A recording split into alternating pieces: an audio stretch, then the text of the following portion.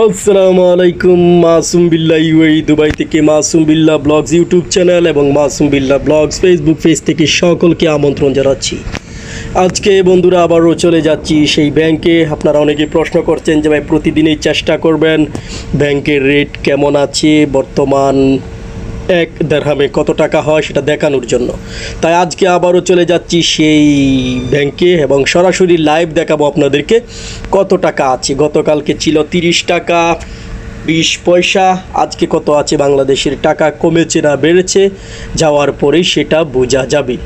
তবে আমি যতটুকু শুনেছি, টাকা নাকি কমেছে কিছুটা। তো যাই হোক, দেখলেই বোঝা যাবে কমেছে কিনা বেড়েছে। তো ব্যাংকের দিকে আমি যাচ্ছি। প্রতিদিনই কিন্তু টাকার যে রেট আছে, সেটা আপ ডাউন হয়, কখনো বাড়ছে, কখনো কমছে। তবে অলরেডি চলে আসলাম। আপনারা দেখতেই পাচ্ছেন এই সেই এক্সচেঞ্জ মাল্টি ট্রাস্ট এক্সচেঞ্জ ইন্ডিয়ার রুপি হচ্ছে আপনার একুশ টাকা।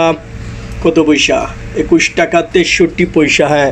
গতকাল কিছুটা কম ছিল, আজকে বেড়েছে। তো বাংলাদেশি টাকা বেড়েছে না কমেছে, দেখা যাক।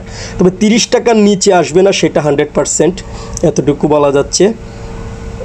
হ্যাঁ যেই যেটা বলেছিলাম সেটাই তিরিশ টাকাই কিন্তু এখন দেখা যাক চার পয়সা নাকি কত হ্যাঁ চার পয়সাই তো। কারণ হচ্ছে যে চার পয়সা মাঝখানে আবার এসেছিল, তো তিরিশ টাকা চার পয়সা আজকে আছে। আজকে তারিখ হচ্ছে আপনার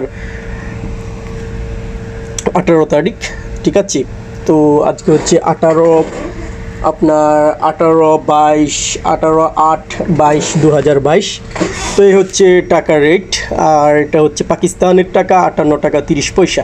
তো যাই হোক, আপনাদেরকে আমি বলেছিলাম, কথা দিয়েছিলাম, প্রতিদিন দেখাবো, তাই দেখালাম। এটা কি? এটা হচ্ছে পানি খাওয়ার ইয়া। যাই হোক, আমি একটু পানি নিই এখান থেকে। অনেক ঠান্ডা পানি। আসলে দেখি। এরকম অনেক জায়গাতে এটা কিন্তু আপনার কি বলব, এটা আমির সেন্টার আমির সেন্টারের মেশিন এটা, পানির ওয়াটার তো যাই হোক, এখন চলে যাচ্ছি আবার ইনশাল্লাহ আজকে তো আপনাদেরকে দেখালামই। আগামীকালকের ভিডিওতে আবার দেখানোর চেষ্টা করব। আর সবাই ভালো থাকবেন এবং সুস্থ থাকবেন। আমার এই ইউটিউব চ্যানেলটা সাবস্ক্রাইব করে রাখবেন।